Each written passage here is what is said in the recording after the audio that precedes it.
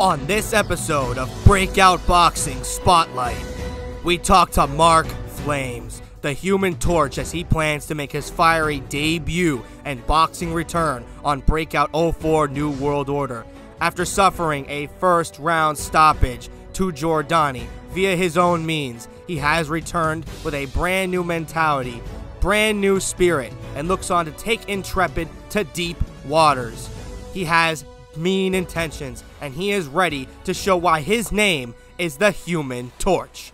Today on Breakout Boxing Spotlight, we talk to Mark Flames! Ladies and gentlemen, it is once again breakout time, and we are here with another episode of Breakout Boxing Spotlight.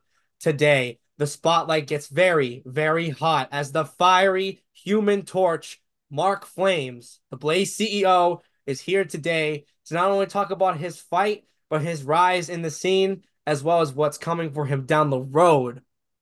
Mark Flames, it is good to see you, my friend. What's up? What's what's up, Pat? What's up?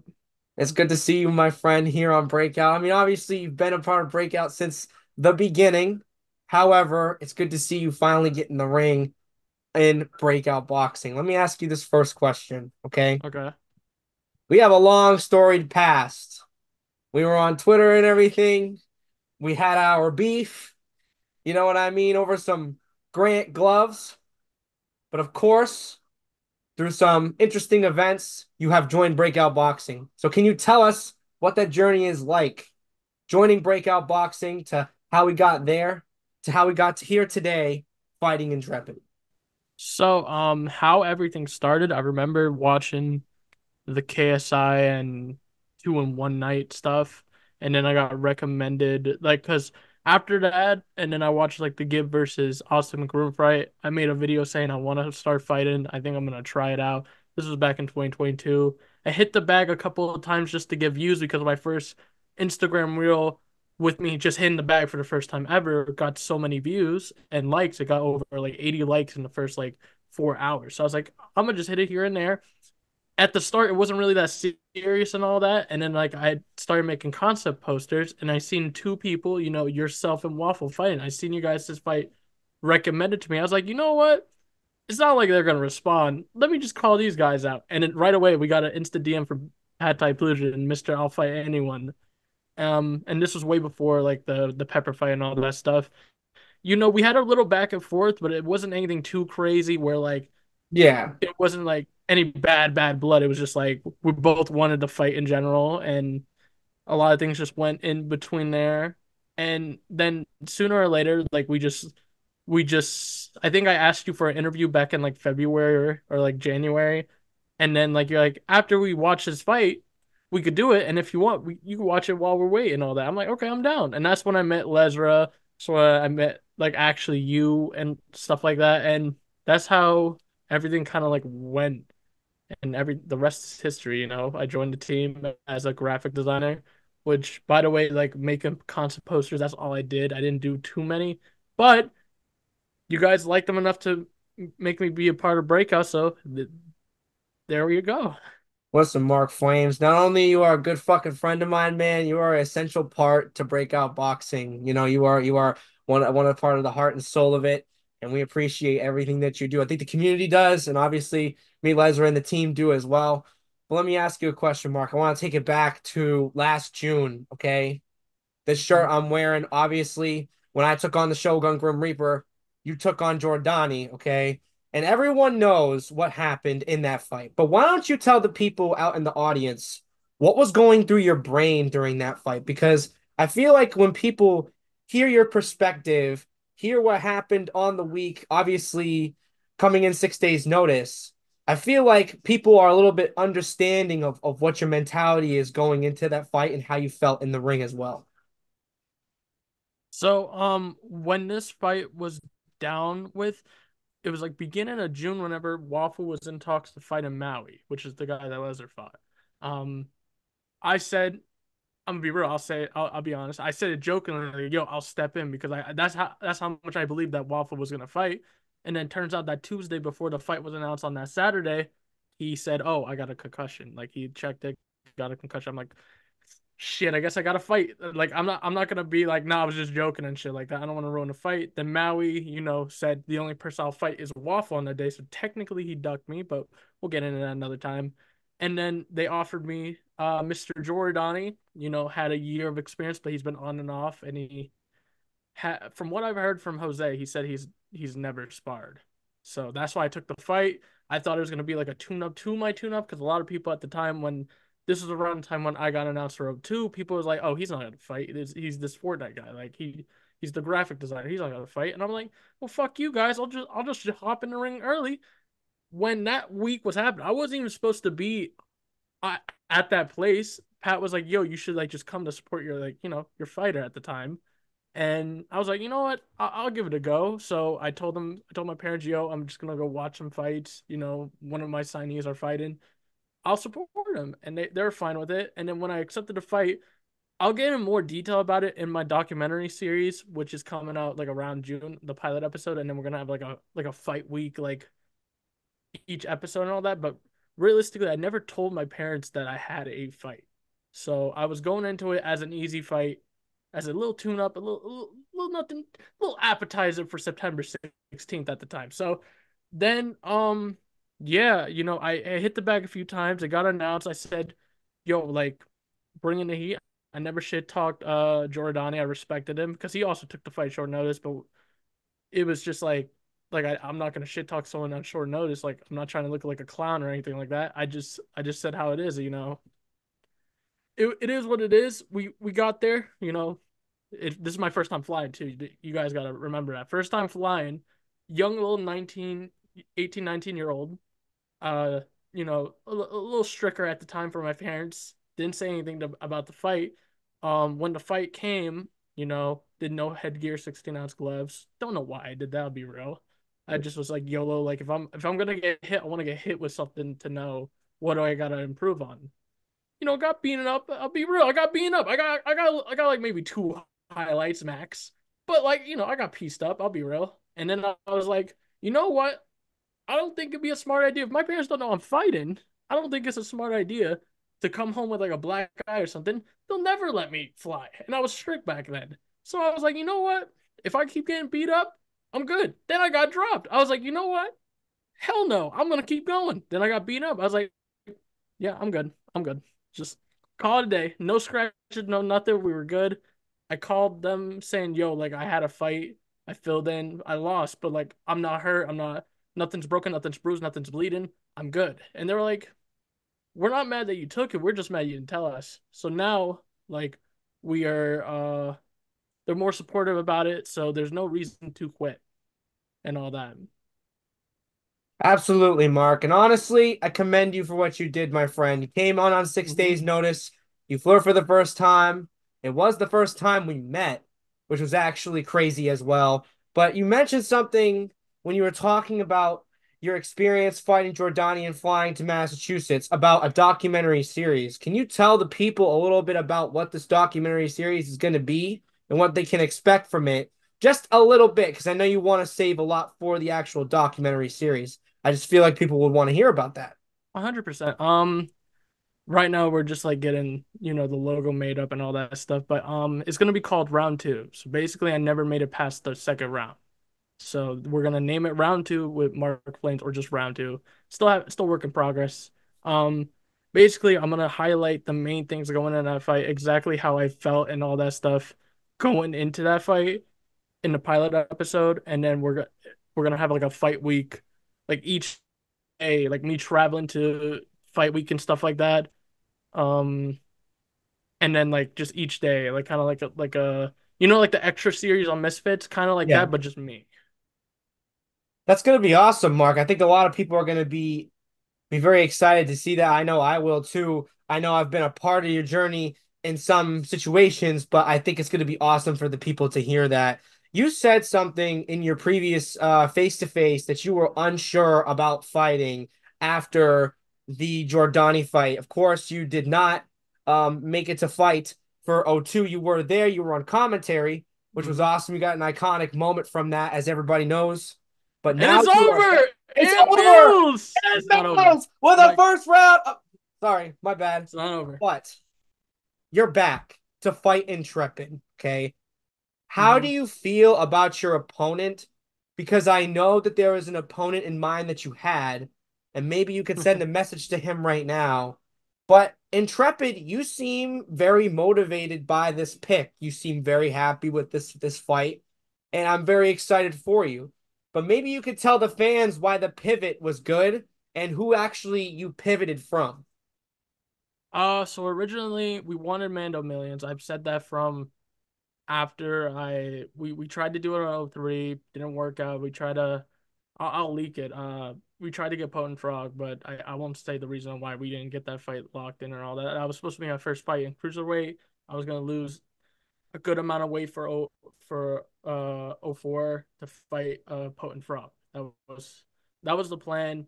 Um, but that didn't go through due to his situation. I won't speak on that. Um, then it was Mando Millions. We thought that fight makes sense. He was shit talking me straight after, calling me the punching bag, calling me the Joe well- Weller of the small creator scene. It made sense. You know, we still shit talk back and forth, and it's entertaining. We we want to see that guy to shut the fuck up. I thought I'd be the guy to do that. Um, but like he apparently he had like some like uh I don't even know like some dream con. And the last time I ever heard a dream, he's he's talking to kids and all that. So I don't know why he's going to that place, but uh, it beats me. It beats me. you know, I mean, it beats me. But uh, he can't make it. He says he's down to fight me. So hopefully, uh, when I win against Intrepid, I'm not looking past Intrepid, but like, you know, we get that fight set up at some point, like whether it's on Breakout or just anywhere, just get the fight set up just in general. But yeah, um, the pivot of when I got offered Intrepid, I said I'm down right away. You know, it makes sense. So it it I know Mando's a, has a big following, but like it just makes sense because like we both need redemption. We're both 0 1. We both lost in the first round, and it just makes sense. So like, why, why like waste an opportunity and like not make a big fight happen on 04? Because like you know, I just want to be on the level where I'm talked about fighting when it comes to fighting, not just graphics or whatever. Like you know, Lezra's talking. Lezra gets talked about in every aspect. You know, he's a funny shit talker. He's a fighter. He he tweets a lot. You know, like I just want to be talked about more on that caliber caliber. So I think this fight after it's done is gonna won't be around that level. I won't be I won't be as good as your mother's favorite, but I'll definitely be pretty close, pretty close. Well, your mother's favorite is one of a kind, but Mark Flames, you are also one of a kind. So it's very possible Thanks. for you to be among all the big guys. I, I genuinely think you are right now just because of your contributions to the scene. But for your own personal sake, I know that own personal journey that you're trying to have. But there's also some other things going into this fight. Obviously, you're fighting Intrepid, but there's also a lot in the future for you. Past boxing, past all this. Um, what can we expect from the future of Mark Flames, maybe content wise?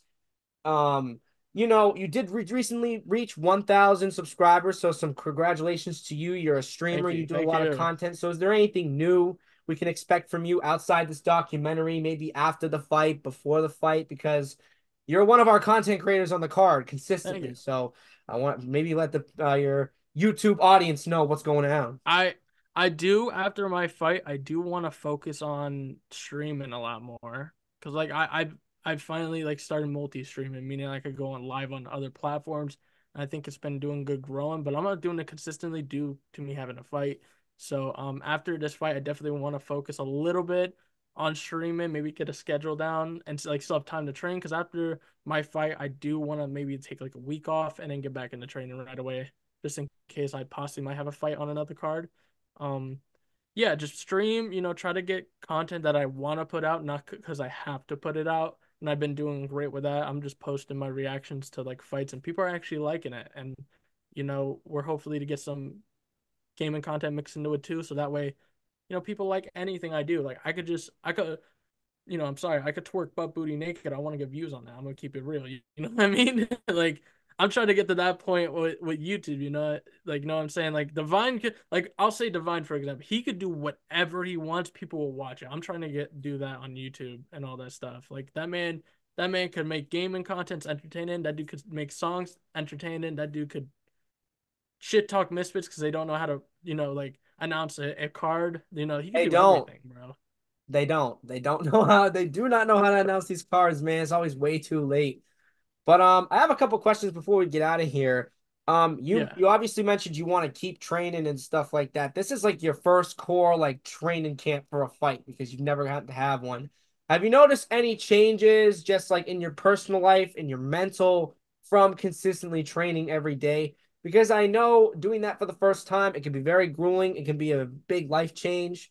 Have you adjusted well? Like, how's that going? I'm not necessarily talking like skill wise. I'm just talking like personal wise. Like, yeah, I'm feeling good training. I feel like or or maybe it's on the opposite side. Maybe I'm just like, oh, I'm, I'm, you know, it's very grueling. It's very exhausting. You know, maybe a little bit of both. Bro, bro, training sucks. I hate training. I'm a fat dude. I want to be fat. And I and like I still am. I'm I'm coming in a fight. I'm trying to be like 220, 225 for this fight. But like, dude, like I just want to sit down and just munch and then sleep. I, I don't want to train, but I have to. This is this is what happens when you have a, a high stakes redemption fight. You gotta train your ass off so I could beat Intrepid. That's that's the plan. And and it's just like, bro, I know he's training hard, and I, definitely the weights of me feeling nervous about this fight has coming off since you know one fight uh fell through, and then he pulled out of the Villager fight. So now he's coming in from a loss, you know, crying in the bathroom. Uh, it's just like very, it's more comfortable. Like I, I'm not even like like I'm still I'm still nervous about it. You you have to be nervous for the fight, otherwise you're not human. But um, he yeah, man, it's just like with training, it's definitely every day I train and I work my ass off, bro. It just makes me more confident into my uh, ability to beat Intrepid. Like I know I could beat him. I have that engraved in my head. Nothing's stopping me. He could he could drop me four times. I'll figure out a way to win, or at least like make it to the last belt. You know. I just like I just don't think he could beat me. I like that's my way. Like I, I've worked too hard, man. I really do. I really do. And I think he doesn't get that or something because the way he's talking, he's saying it like when he when it goes past the first 40 seconds and you start running, oh da da da da like I feel like he's banking on me underestimating and I have not. I could say that I, I beat him, but that doesn't mean I think he's an easy fight. It's not gonna be easy at all, bro. It's a it's another competitive fight I'm going back into, but this only this time I have a full training camp. The only footage he's ever seen me fight in was six days' notice, no headgear against a guy who has three years of experience who's fighting in the Golden Gloves. And he keeps talking about me comparing fights, but there's a reason. Like, dude, he had a full training camp and lost in 40 seconds, and then he's like, he's his parents are crying to him because he's not being humble. Like, dude, there's so many circumstances we both were into, and now we have no excuses, no nothing, and I'm going to beat him. Plain and simple. It, that's good to hear, Mark Flame. Seems you fired up. Human Torch, Blaze Promotion CEO. Um, yes, sir. That that that's by the title, man. It's fire. Um, but I want to ask you a question. There might be people that are saying, maybe here and there, saying, "Oh, obviously I'm nervous for a fight." They might take that as, as weakness. Do you want to have a message to your doubters who have maybe said that you're going to lose the fight just purely based off your last loss? I mean, tune in to watch me not fight a guy who's been training longer than me. I mean, technically, Intrepid had more experience, but I'm pretty sure it was because like he was depressed or whatever. He just stopped and he got bigger. You know, that's the only reason is he weight gained and all that. That's ain't no disrespect. That's just facts. Um, just tune in, watch me fight an influencer because I'm gonna show you that like there's a huge difference from fighting a fighter, a get back fighter, and an influencer. And I'm gonna show I'm gonna show you the difference between that. And I'm and I, and I, I promise you, you ain't gonna see me quit. Tune in. I'm gonna my hand will be raised and there's nothing poor, not, nothing to it. That plain and simple. Like I said, bro, I, I'm just coming in to win, and that's it. No, nothing stopping me. I don't I don't care. Like I really don't. I'm winning. That's that's my goal. I love to hear that, Mark Flames. You honestly just took the last question right out of my mouth. I don't see any other way that this can continue other than seeing you fight Intrepid and seeing the actual fire in that ring July 27th, 2024. And that is right.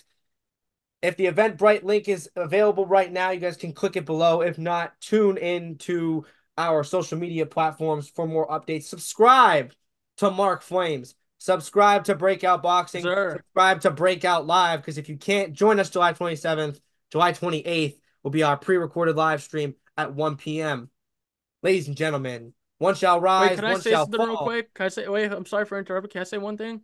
Absolutely. And talk and Trippett talks about don't blink. Intrepid, I'm blinking. I'm blinking. He's blinking, bro. I'm blinking. I blinked. He's blinking, bro. I I I might have missed it. Where's 18 not uh, dropping Ashley Raxley? Where's it? Where's that at? I blinked. Oh my, my god, fault. Mark. Jeez Louise. We will see you at the fights. This is the new world order, baby. Hell yeah!